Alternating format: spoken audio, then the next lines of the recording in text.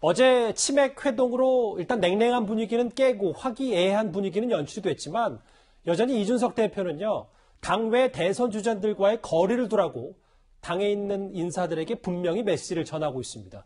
그래서 윤석열 캠프에 합류한 국민의 인사들을 두고 말들이 많습니다.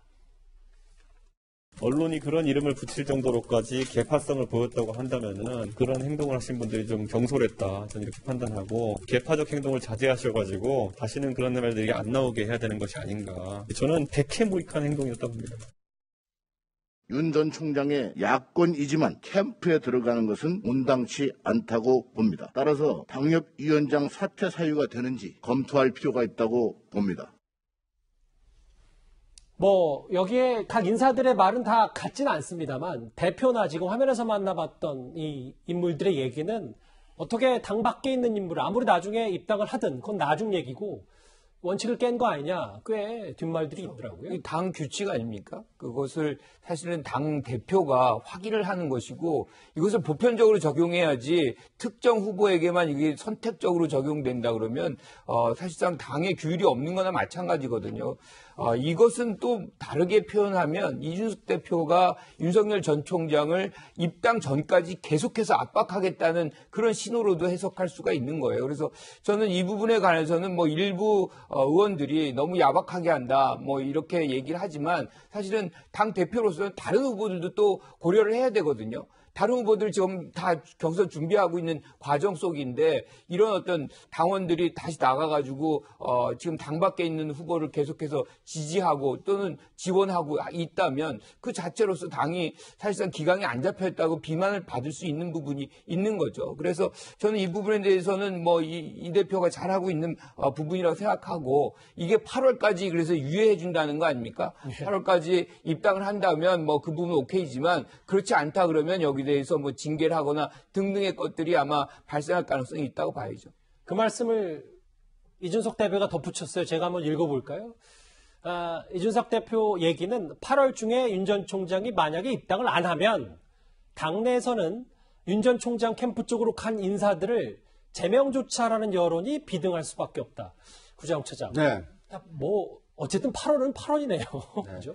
그러니까 이제 이 국민의힘의 어떤 대선 경선이 출, 시작되기 전에 윤 전 총장이 합류를 해야 된다라는 어떤 이제 강력한 메시지를 던지는 거고요. 만약에 8월 이후까지도 윤 전 총장이 입당을 하지 않는다라면 이 윤 전 총장을 돕는 당내 인사들에 대해서는 강력한 페널티를 주겠다. 이런 경고 메시지입니다. 그런데 윤 전 총장 입장에서 보면 지금 장외에 있기 때문에 상당히 어떻게 보면 약점도 있지만 이 국민의힘 의원들의 어떤 적극적인 이 조력을 받는데 좀 한계가 있거든요. 이런 측면에서 이런 어정쩡한 상태를 입당을 통해서 해소해라. 이런 의미가 이준석 당대표의 경고에 좀 담겨 있다 이렇게 볼 수 있을 것 같습니다. 그런데 사실 이 국민의힘 당내 인사들 중에서 가장 반발한 쪽이 있습니다. 바로 최재형 전 원장 측인데요. 국민의힘과 철학이 같다면 당연히 당 안에 들어와서 선거운동을 해야지 당 밖에 머무른 채 사람만 빼가겠다는 것은 비겁한 것 아닌가? 비겁하다. 이게 윤 전 총장이 말한 공정인가?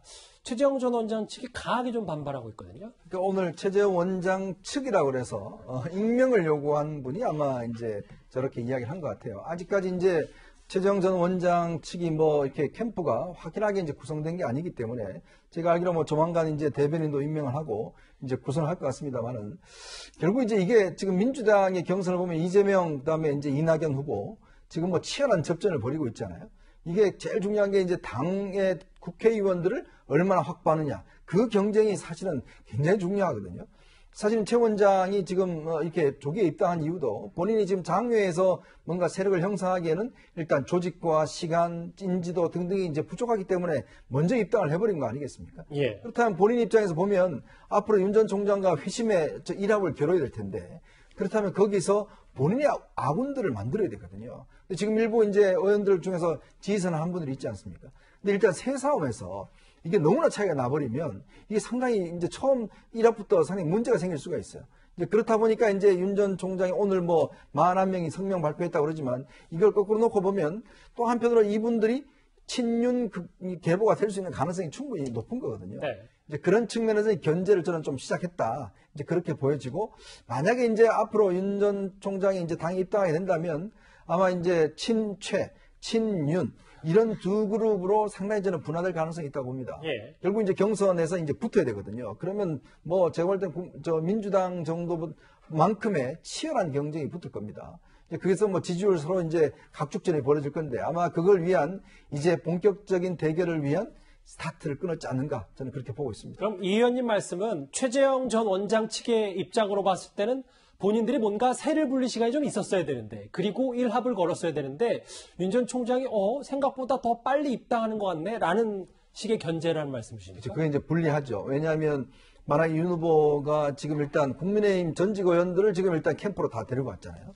거기에다가 지금 현역 의원들 같은 경우는 저렇게 성명서를 발표를 했지 않습니까? 안팎으로 지금 이제 상당히 위험에 처한. 근데 본인도 그럼 뭔가 새를 보여줘야 되는데 이제 그게 지금 아직 시간적으로 필요한데 만약 이런 상황에서 당에 이제 불쑥 들어와 버리면 일단은 이제 누구 지지율 높은 사람이 일단 이, 이 경선에서는 일단 뭐 최고 아니겠습니까? 이제 그쪽으로 새가 쏠려 버리면 이 경선의 초반전이 상당히 이제 아주 힘들 수가 있어요.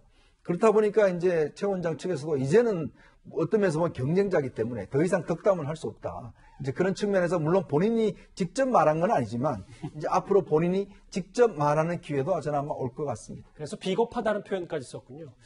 이도하 변호사님, 아까 후원금 얘기를 짧게 해주셨는데 좀 더 구체적으로 이 얘기만 하고 이번 주제 정리를 하겠습니다. 아까 5시 한 10몇 분 현재 20억을 넘었다고 했는데 20억 넘은 중간에 후원금을 10만 원낸 인물 중에 배우 김부선 씨도 있다면서요? 예, 김부선 씨가 이제 이게 0시부터 사실은 이게 후원금 계좌가 공개가 되고 여기에 대해서 모집이 되는데 그전에도 아마 입금은 되는데요. 이제 정식으로는 오늘 0시부터고요. 보도 자료는 오전에 뿌려졌어요. 그러니까 이제 후원금 계좌가 열려 있다는 게 오전에 좀 알려지기 시작했는데 아마 그 김부선 씨가 한신가 시간에 이 돈을 10만 원을 보내고 왜냐하면 10만 원을 보내면 이게 세액공제가 돼서 연말 수- 세액공제를 다 받을 수가 있거든요. 그래서 그러니까 이제 10만 원을 보내면서 이제 후원을 한다. 이렇게 공정과 상식 이걸 지켜달라. 그리고 어, 정치적으로 후원을 한다라고 얘기를 하면서 그 얘기도 덧붙였더라고요. 본인 이제 마스크 팔아서 돈 더 생기면 또 후원하겠다고 말씀도 해주셔서 예. 아마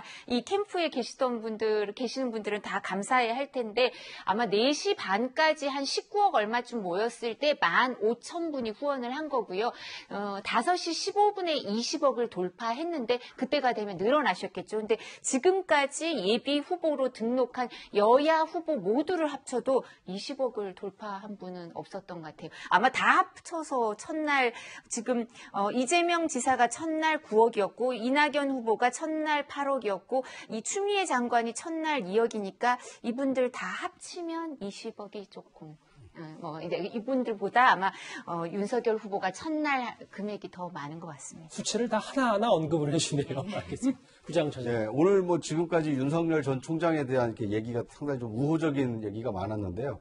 지금 장외 주자고 여론조사에서 상당히 앞서고 있는 후보기 때문에 이 강력한 베네핏을 지금 누리고 있는 겁니다. 이득을요. 그렇습니다. 앞으로 이제 입당을 하게 되고 경선 전에 들어가게 되면 지금 여당에서 벌어지고 있는 이재명, 이낙연의 어떤 치열한 이 경쟁처럼 이 네거티브 공방을 피할 수 없기 때문에 지금 장외주자로서 이 강력한 베네핏을 이 마음껏 누리시기를 그 바라고요. 앞으로 더 치열한 경쟁이 남아 있다.